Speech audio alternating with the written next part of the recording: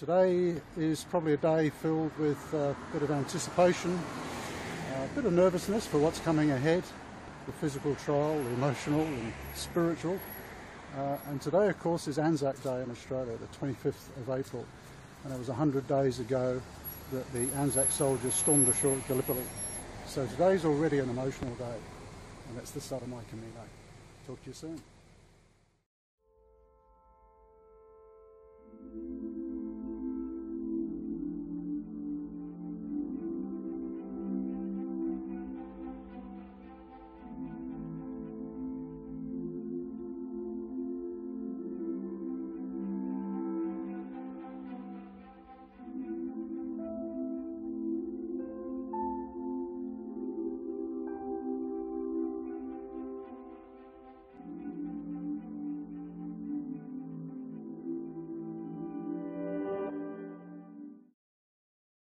So here we are at the end of day one, and uh, actually made it, which was quite surprising. I was thinking the uh, injury might play up and uh, I'd actually have to bail out in the first couple of hours. The first bit of climb out of Saint Jean is fairly tough, quite steep, but I sort of took the approach that uh, I'll just keep going slowly, steady, and don't stop because your legs might seize up. So I think I've been going at about two k's an hour anytime I come to a really steep stretch, I just say, go slow, step short, go slow, keep going. It's a very, very steep climb to get up here, and uh, I think the best way to tackle that was just to keep going, slow and steady, slow and steady all the way. And um, yeah, I was quite su- quite surprised. The the walk wasn't uh, that difficult. It was just the, the injury made it awkward. I would not do this without walking poles particularly going up the hills. It was interesting, um, very quiet, walking up, um, just the occasional sound as other pilgrims were, were, passing by, and a brief bon camino and a quick chat where you're from. Uh, but today has been glorious, and look at the weather. It's uh, just incredibly still, not a lot of sound other than the animals and the other odd pilgrim walking past. So um, enjoying it. Um, really, really peaceful, and although a tough walk, really enjoyable. So uh, a great first day, and it's pretty cool just walking up here, bumping into a few other pilgrims. The sound of cowbells, donkey bells, and all sorts of animals. It's really cool. Enjoying it. Awesome experience. Very easy to just kick back and chill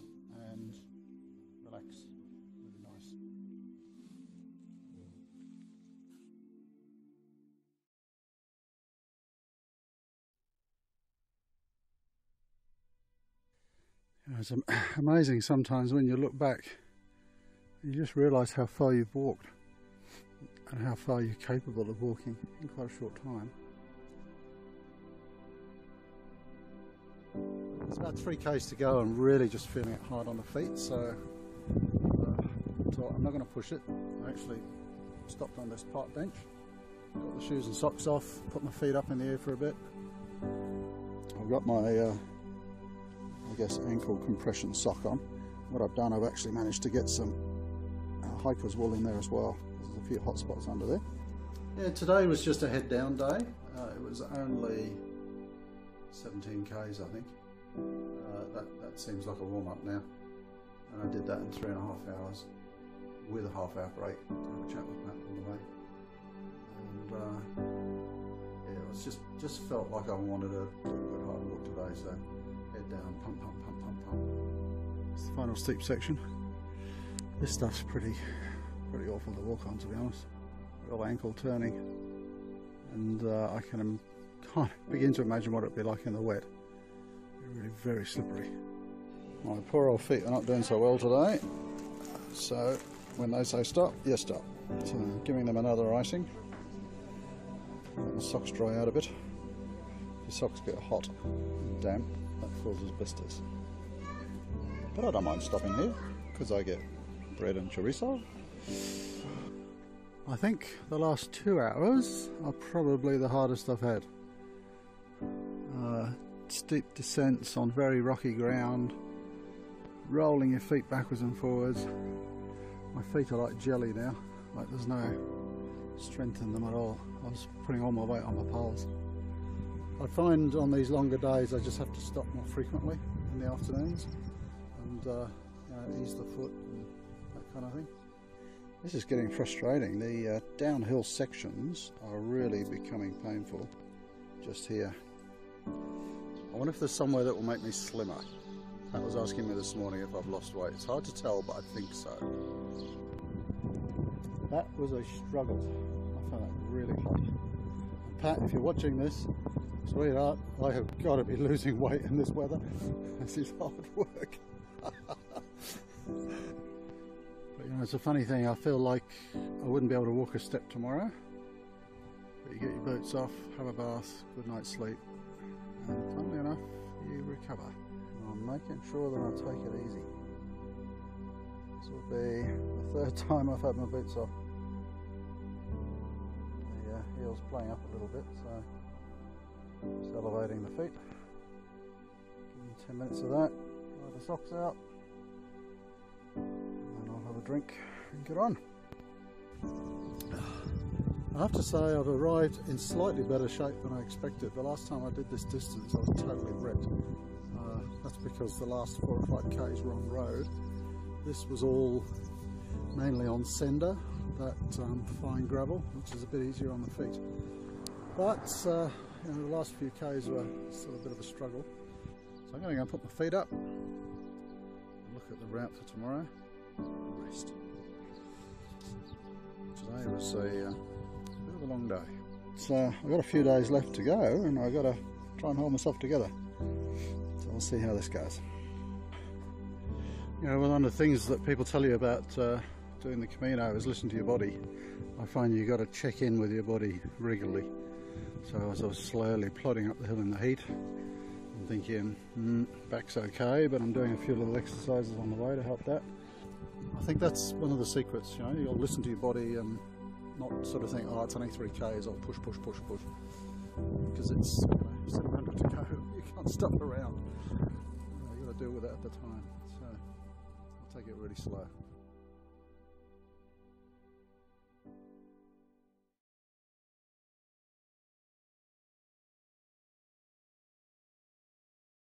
Uh, that second week was very much about, um, you know, starting to let go, just accept what happens, uh, and really getting into the sort of emotional and spiritual part of the journey. That second week was probably my best part of the Camino.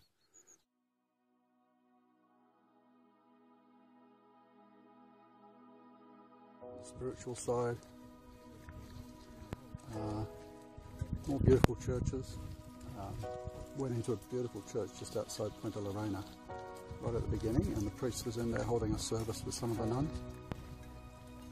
I don't know what, what draws me. I mean, I'm not generally a very religious person, but I almost go into every church I pass.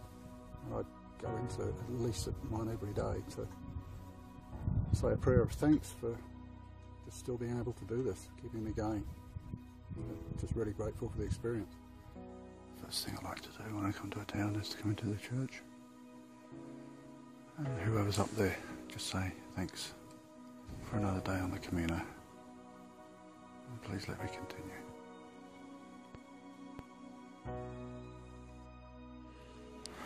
My first port of call, as usual, entering a new town or village, is to the church. Just to say thanks for allowing me to undertake another day on this great journey. And look at this place in Castro Jerez said my prayer and dropped my rock. Dropped a few other rocks for other people. And just had my little moment at the top there. Yeah, I've, I've gone through all of these great experiences, um, you know, a deeper connection with myself and, and perhaps developing a bit of faith. Uh,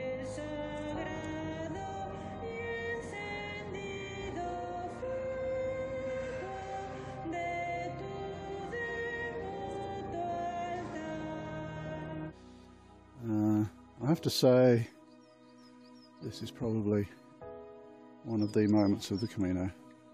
I hope it is when you do your Camino. Everyone I've spoken to has had highs and lows, and everybody at some stage has said, "Do I really want to continue this? Is it time to go home?" Uh, just just work through it. That's that's natural. But I, would had this you know, few days of really being glum, thinking, well, what's going to happen in the next two weeks? Have I just got to walk every day? Because this is getting pretty monotonous. Um, so I gave myself a kick up the backside and, and got on with it. And um, I'm now, you know, sort of reconnected with the whole process and the walk. And I was uh, talking to someone walking yesterday and sort of saying, okay, so what comes after this? Pretty hard to go back to the real world, I think. And I was thinking, I wonder when you get bored walking the Camino. How long do you have to walk before you start getting bored? I think it would take me a fair while to be honest. And on the emotional side, I was feeling a bit down this morning. Um, feeling a bit guilty to be honest. Wondering is this really a very selfish experience? Because you leave people at home and they're having to deal with challenges. My wife Pat's dealing with a lot of challenges at home with father's health and you kind of feel guilty being, being away a bit. You know, it's funny how the weather affects your mood. Yesterday was sort of overcast and a bit grey to start with. Today, not a cloud in the sky, really sunny. I just can't wait to get on the road. Happy birthday to me, happy birthday to me. Strange day today. I think you need to expect on the Camino that you have good days and bad days. And I don't mean that as it doesn't have anything to do with the terrain really or the distances but it's it can be a bit of an emotional roller coaster. I've had a couple of bad days. This might be another one. I'm probably thinking too much. I'm walking on my own today. Time to reflect on the things that I was thinking about at the cross.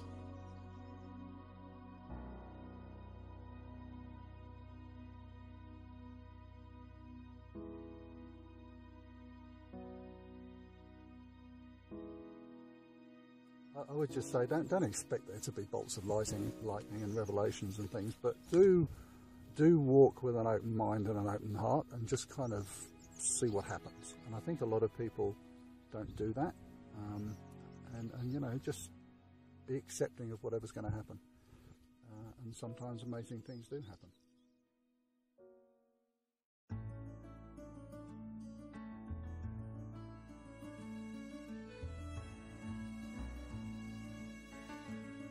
Just stop to have a look at this beautiful view. A lot of people do Saint-Jean-Pied-de-Port to Roncesvalles in one day. It's about 27 k's. This is getting up to the highest point now of the walk over the Pyrenees.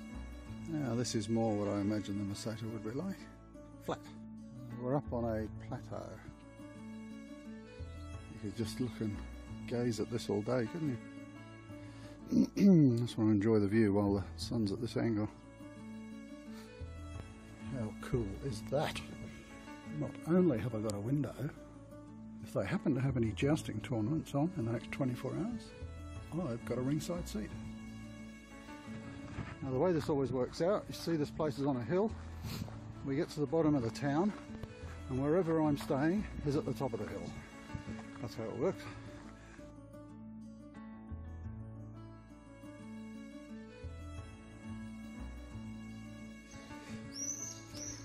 interesting view of traditional values and village life.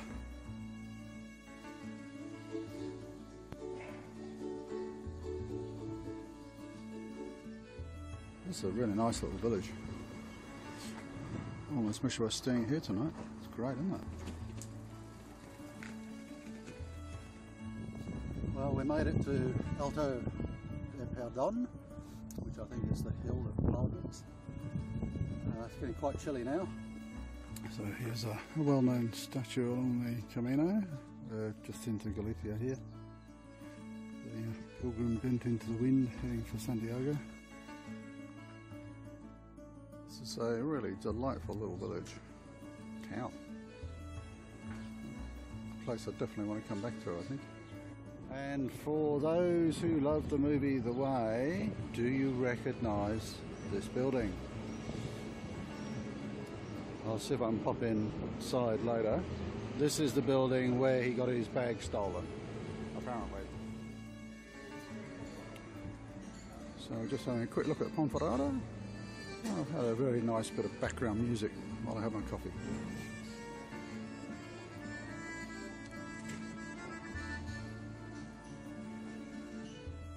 Look at this place. This is without doubt the nicest town that I have come through yet. It's a really cool place. It's kind of um, really old little village. Few people live here looking after the albergues and the cafes and things like that.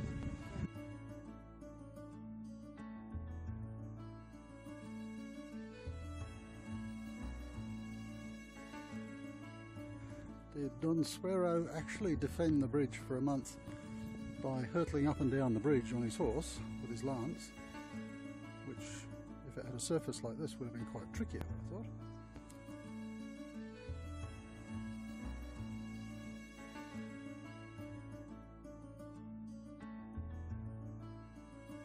So tonight's stop is Cacabelos, uh, which is just uh, the other side of Ponferrada. Nice little place, nice place to stay, good food. I'm not sure where Pilgrim Central is in this place, but this bar has a bit of noise coming from it. And there's a few seats out here. This could be it. There's a few people lying down there with backpacks, and then you generally find some of the cafes on the way in. There'll be a whole bunch of pilgrims. And let me just swing around here, have a look at some of these views. Isn't that an incredible church? So all of them, they have their own Simon because when they write down the gospel, they start with something that has connection with these animals. Okay, so we call it this when we speak about art, tetramorphos.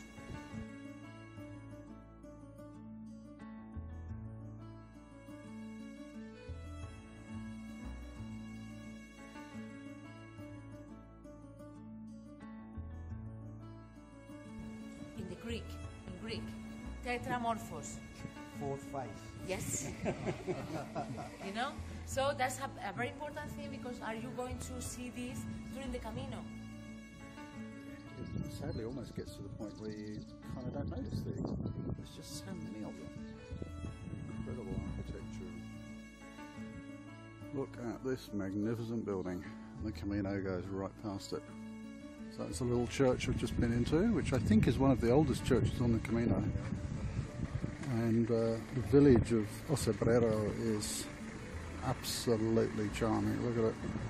And uh, I just stopped in this village to check out yet another magnificent church, 13th century, established by the Knights Templar, built in 1221, and it's been was added to over about 500 years. Really sensational building.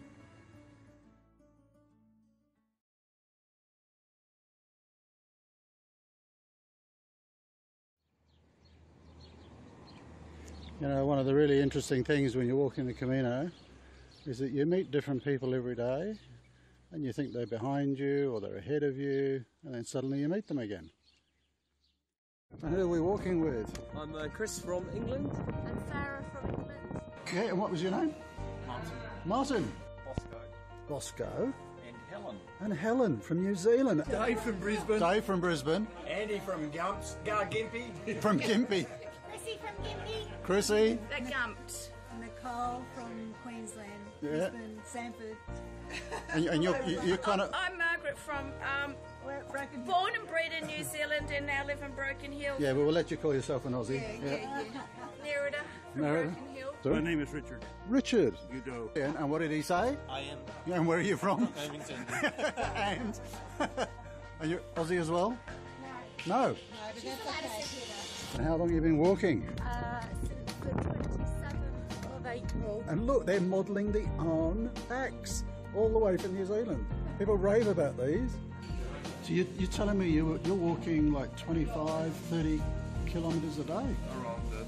Maybe amazing. sometimes only 20, sometimes 30, 30. Yeah, that's 35 amazing. was. Amazing. We've been been making pretty slow time Yeah. I'm 73. You're kidding? Wow. I thought you were about my age, 57. And, uh, in 94, I had a triple bypass, and I've had two other heart interventions since then. My wife had a, Are you sure you should be doing this? a place to die city. It's It better would than be. most. It would be. Hola. It's like a school trip. Well, umbrella. Now, I was thinking cold drink. What were you thinking when you saw the umbrella? Better not be a picnic. yeah, that's right. that's hilarious. Did you take a day off, Father? no. She says if Keith Urban comes to the house, I have Yeah. to leave. oh, wow. So is this, is this your first Camino? It is. It is. Wow. So, Probably the last. so we don't need money. No, no, the intention, the, the, the intention is understand money is creation of you. Hmm. Money is only for buying. Yeah. See, you understand energy in the life. Hmm. Life is sharing. When you born with energy, hmm. your life is more better, and the life the others is more better. That's true. So what, what would you say to people who are thinking of doing it? Don't. Do it. It's been amazing. Yeah, it's more beautiful than I think we even have read about. And, uh, the social side of it is Made sensational. lovely I've, I've noticed you getting into the social side. so, if- so if people were thinking of doing it, what would you say to them? I would say to give yourself plenty of time and to come with an open mind. And that it's probably harder than the movie says it is. Buen camino. Buen camino. Buen camino. Hola. It's wonderful. Great, it's isn't it? magical. Isn't it great? Yeah, we're having a great time. Sí, Santiago. Buenos dias.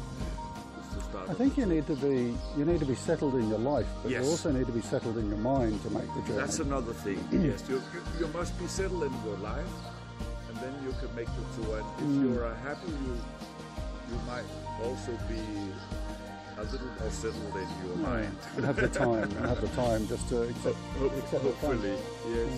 Because it ain't Dutch, it ain't Dutch. That's right. Remember it, That's- until Santiago. That's right. I think you're making a lot of people happy here. I, I look many people happy, yes. Good. I look many, thousands. Right. This is good. When look many people happy. One create the, the generator of the wind, the electricity, wind. Yeah, This is the name. Uh, yeah, yeah. you, it's move. David, stay here. uh, you, human move Yeah. and create wind. Yeah, yeah, yeah. for more. This is uh, life. Wow, that's a good way of looking at it. You understand? You yeah, yeah, yeah. The we, wild. we go on and spread the Yeah, happiness. things, one film and this film, and uh, it's move life.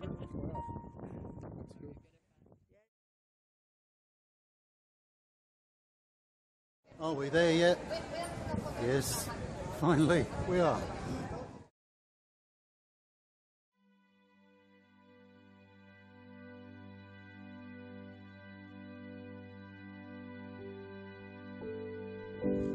There's a, certainly a degree of sadness that the journey is coming to an end. So here we are on the very, very final stage. Can't help but think that maybe there's some things that I haven't done, things that I haven't thought about, things that I didn't do during the uh, uh, during the journey.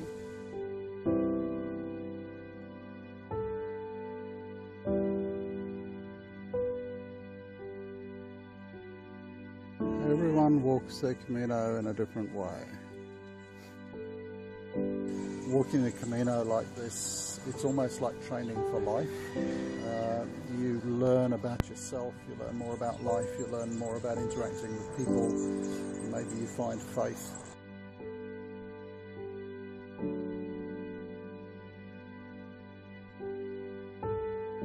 Absolute clarity about you know, inspiration insight and, and incredible things happened during my journey.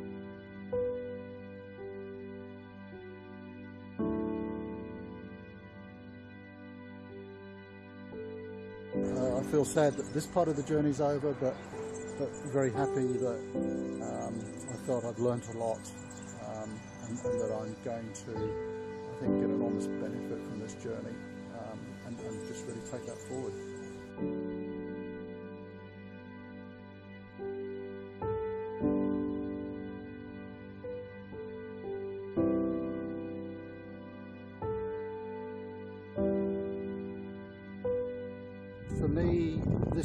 Camino was about the journey. It was never about getting to Santiago.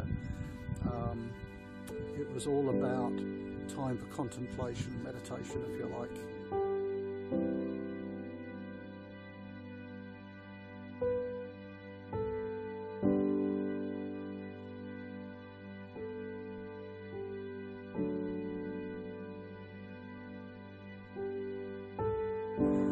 Um, I'm really looking forward to just hanging out in Santiago and seeing who's turning up and sharing experiences with people that I know. Just taking time to chill out in Santiago and uh, been into the cathedral and hugged the apostle and been down into the crypt where his remains are. Yeah, it's a nice place, uh, certainly for a day. I, I guess what I'm saying is a minimum of a day, uh, just to relax before you head off and do whatever you're going to do.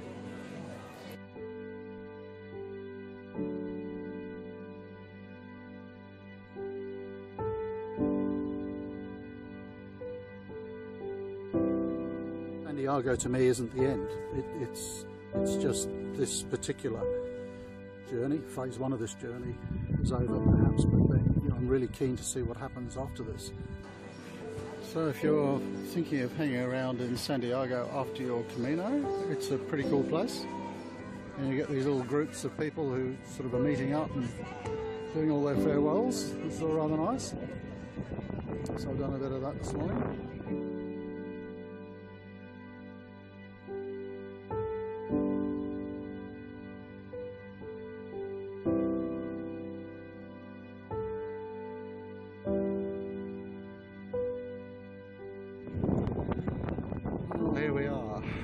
Does feel a little bit more like the end of the journey.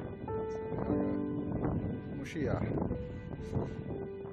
If you are going to, you know, thinking of walking a Camino and, and you're doing it for, for sort of, uh, you know, emotional, spiritual reasons, I really hope that happens for you too. Uh, just leave yourself open to it. You probably will. Hi. Uh, no, this is not the Camino. Um, I thought I'd just keep um, a few blog posts and videos going um, post Camino, just to, um, I guess, see how things were going and uh, how things might have changed. Um, so if you've been following the blog, uh, hopefully you'll find this of interest. So I finished the Camino two weeks ago tomorrow, and uh, what I'm doing now is um, Pat and I have uh, a sort of second home in Bangkok and uh, she was here while I was walking my Camino, so I'm spending 10 days or so here uh, before heading back to Sydney. So it's been a nice chance to chill out, so hence the, uh, the Bangkok scene rather than the Camino one. And I thought I'd just talk for a moment about the transition from the Camino sort of back into the real world, if you like. Um, because a lot of people find that quite difficult, and I think I talked about that a little bit when I was in Santiago and the feeling sometimes that people feel a bit let down um, or you know something's missing. So um, this is purely from my perspective, but I guess what I've found over the last week to 10 days is that you do need a transition time. Um, I can't imagine just finishing the Camino and then walking straight back into work. That would be really difficult because if you think about it, you've been walking for five or six weeks in a very, very different environment. You've had a very different routine. Um, if you're like me, you walked alone, um, so was a degree of isolation uh, with a lot of time to sort of ponder and, and reflect and contemplate. And, and, I think you do need a transition before you, you, get back to work. So this has been ideal for me, um, really just to kind of chill a little bit, get used to being with lots of people again and, and lots of noise and distraction. Um, so I thought I'd just talk for a moment about the sort of three elements that I've mentioned a few times during the blog, uh, and that is the physical, the emotional, and the spiritual. I suppose from the physical sense, uh, what surprised me was that I kind of just stopped. You, you, would think when you've been walking every day for you know five to ten hours in my case, that, that would kind of build up a routine and you'd want to maintain that. Um, what I actually found was that it was the, almost the reverse. And I think it's because when you're walking, you, you're sort of, you're very highly motivated, the adrenaline's going, you're really sort of pumped up every day. And when you lose that sense of purpose, the reason to actually go through that, you know, very physical uh, sort of thing every day, um, I found I actually just stopped and I didn't really want to do anything physical. Um, so that was interesting, and I think it's really just the body saying, okay, you, have been doing a lot for the last six weeks, just calm down, chill, and, and relax a little bit. So I've, I've slept an awful lot, um, and, and, I've started noticing all sorts of aches and pains um, coming up since the Camino. But it's probably just the, the, the body wanting to relax and rejuvenate a bit. Um, and uh, yeah, that, that's probably mainly the, the physical thing. Um, now I'm feeling I want to be more active, so I've, I've had a good chance to have a rest. Um, on the emotional side, um, yeah, my wife Pat remarked you've come back a bit like a monk. what she meant by that was that um, I'm still sort of being quite contemplative and, and reflective, um, and perhaps not as gregarious as I was before I went on the Camino. Um, and I think that's that's part of the, the emotional transition as well. Um, again, you, in my case, I was alone a lot, um, not interacting with people a terrible amount, um, and, and, I'm kind of now transitioning to having lots of people around me and, and interacting more.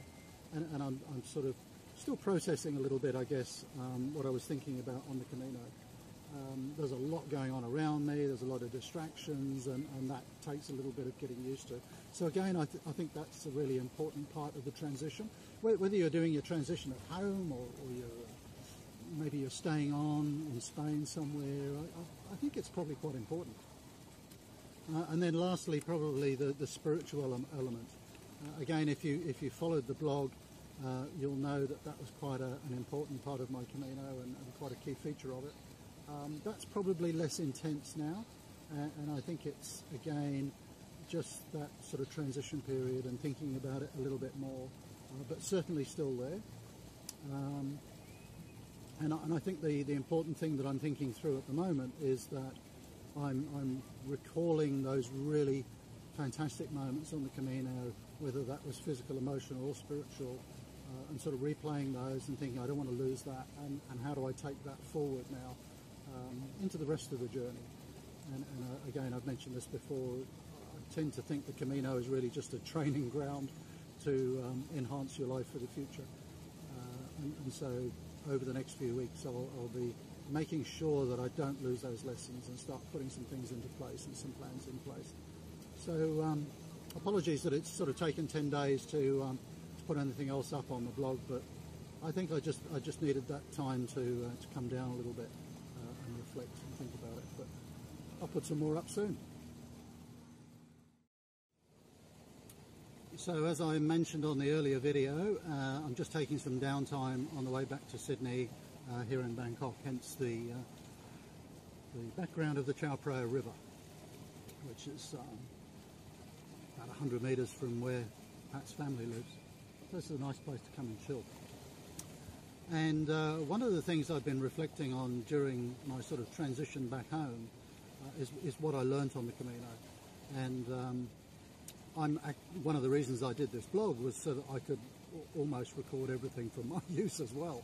So um, I'll be going back certainly and having a look at a lot of those blog posts and videos to, to remind myself of what was important to me when I was actually walking. And I, I suppose if someone was to say to me, you know, what was the big revelation? What was the big thing that you learned? Um, it's probably this. And it's not that astounding. In that you need to be very clear what you want out of life and what's important to you. And I think it was the day walking out of Grañón for me, uh, that beautiful Camino day, beautiful weather, on my own, um, where it really came to me. And the thing that came to me very strongly was happiness. Simple as that and all of the things that go to support that. Um, so that can sound a little bit selfish. What do I want out of life? I want to be happy. Uh, but if you then take it to the next level, you say, well, what, what would make you happy? Um, certainly personal happiness, but the happiness of those around me, um, my wife, my family would, be very important. Uh, and then to the broader extent, um, making my clients at work happy, making my work colleagues happy, uh, and what's very important to me is, is we do a lot of work uh, helping those in need as well. So I think the key theme for me, which came out of the Camino, was get off the treadmill. Don't be focused purely on what you do, but focus more on who you are and what makes you happy, um, and from you know get a much more fulfilling life through that. So um, yeah, not exactly a bolt of lightning, but um, that, that, took me a while, while to realise that, that, that stuff and money and status and all that sort of stuff really wasn't that important. But that was a, a, big change for me. So um, the key for me now will be translating all of that into what happens in the future. Uh, what does that mean to my personal life? What does it mean to my work life? Uh, and how can I, particularly how can I transition now at my age in life um, to not working so hard, sort of being semi-retired uh, and, and, enjoying life a lot more. Um, I enjoy my work, but hey, I guess what I've realised is that there is a lot more to, a lot more to life than, than just work. Um, and I'll talk a little bit more about how these plans come together because this kind of puts me on the spot as well. That's the reason I like to share this on the blog.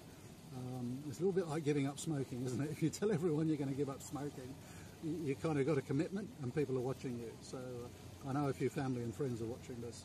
So um, when those plans start to come out, come together over the next couple of weeks, I'll, I'll share those as well. But uh, I'm looking forward to getting home now and uh, starting the, the next phase of this journey. Uh, the Camino is only the first bit, of course.